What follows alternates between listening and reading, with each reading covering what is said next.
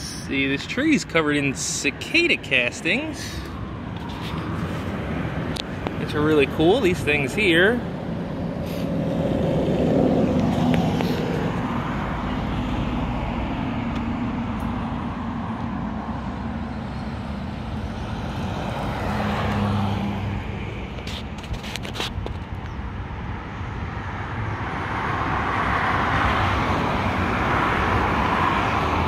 And they go all the way up to the top.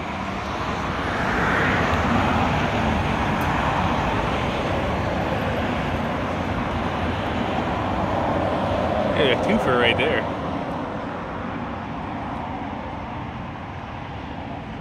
Man.